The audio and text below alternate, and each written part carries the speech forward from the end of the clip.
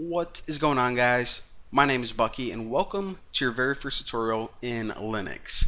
Now in this video series I'm going to be showing you guys how to do a whole bunch of cool stuff with Linux but before we begin I probably should answer this question what the heck is Linux? Well Linux is an open source operating system. Alright, what does that mean and why would I care about it? Well you already know what an operating system is. Windows is an operating system. Um, if you're on a Mac, you probably have OS 10 as your operating system. An operating system is pretty much the core component that any you know personal computer needs in order to work. So normal users really don't care about these because they usually work behind the scenes and do stuff like handle memory and you know handle devices like whenever you plug a USB uh, flash drive into your computer and like I said, normal users are like, who cares as long as it works, whatever. But to developers and like server administrators, they really want to learn about this thing called Linux because not only is it a different type of operating system, but it's open source. So, what's the benefit of having an operating system that's open source? Well, check it out. The people at Microsoft, whenever they make uh, Windows or the people who make OS 10. They write the code, and all that code that they use to write it, it's hidden. Now, Windows and OS 10, don't get me wrong, they have lots of money and they made awesome operating systems. I love them. I have computers that have Windows and OS 10 both on it. But here is the problem that I have with these operating systems. First of all, whenever the people at Microsoft and Apple are making these operating systems, they write the code and they just give you the CD or it comes pre-installed on your computer but you really don't know how the operating system is made or the source code behind it. So the problem with that is how do you know that you know everything is secure like it should be programmed properly and there aren't any backdoors shout out to the NSA if you can hear me. So how do you know that you know there are no issues like that? Well you don't you can never see the source code so you just kind of have to trust these companies. Now another it's not really an issue but it's kind of a problem that you have is what happens when you want to change something on your operating system? What happens when there's a bug that you want to fix or maybe there's just something about it that you want to customize? Well with windows in mac os 10 you can't really do that. So you're pretty much stuck with what they have. Sure you can pick like windows 7 8 or 10 but that's pretty much all the flexibility you have so that is where Linux comes to the rescue. So not only is it completely free, but it's completely open source as well. This means that all of the code that they made to create this operating system, you can see, you can actually just copy it and change a few things, and you can release your own version of Linux called Splinux if you want. And since it's open source, instead of a company of people working on it, you have the entire world that can, you know, fix bugs, make updates, and add features, make improvements to it. So it's pretty stinking cool.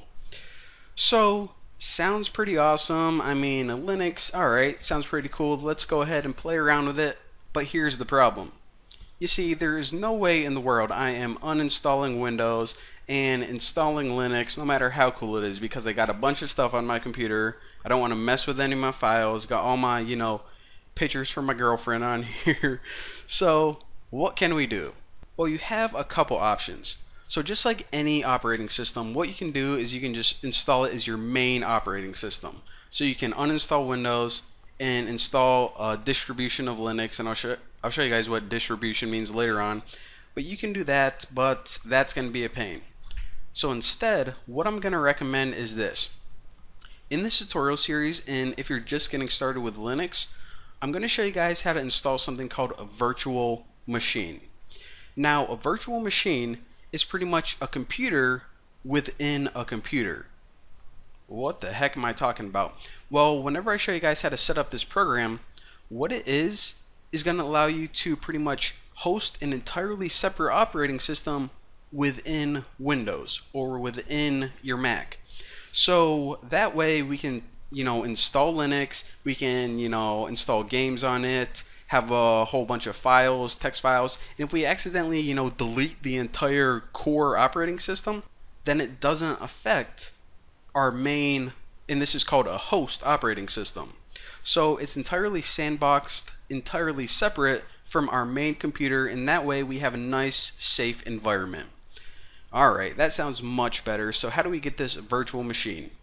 Well, there are a couple different virtual machines. VirtualBox is one of the most popular ones, but I like the virtual machine from VMware. So if you go to vmware.com, and this is entirely free by the way, click on downloads, and if you scroll down until you see where you at, where you at, where you at, right here, VMware Player.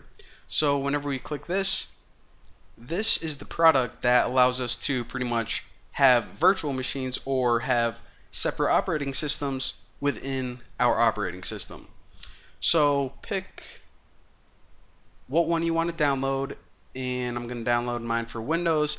Don't download one for Linux because if you're already on Linux in this tutorial then you know you don't need to install Linux within Linux but I am on Windows so I'm going to click download and let it do its thing. So once it's downloaded double click it to open it and this is just a wizard so if you ever installed anything this is going to be a piece of cake. Click yes let me minimize this.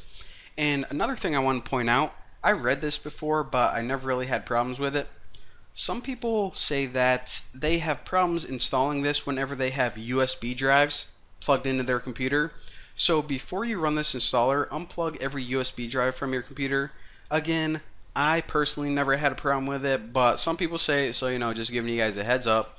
Alright, so continuing, just click next, next, where do you want to install it? Default location, looks good, and check for product updates on start. Why not? Make sure we have the most up-to-date version. And do we want to send them anonymous? Nah, I think I'm good. And click next, and do you want to create a desktop on, or do you want to create a shortcut on your desktop? Yes I do and also in my start menu and that way we can just you know easily open it. Next and continue. And that is it. How easy was that? So once it's done click finish and drag this over so you guys can see. And we now should have this shiny new icon on our desktop. So we can click it and boom there we go. So you're not gonna have any of these. In fact let me remove these so let me just remove it from the library. So yours is going to look like that. The reason that I had those is because I had virtual machines before. I actually just uninstalled this and installed it for the tutorial. But you're now ready to create a new virtual machine. And this is pretty much a new virtual computer within your computer. But don't click this link yet because um, we don't even have an operating system yet. So before we set up our new computer, we should go ahead and download Linux so our computer actually has something to do. So close out of this and I'm going to show you guys how to download Linux right now.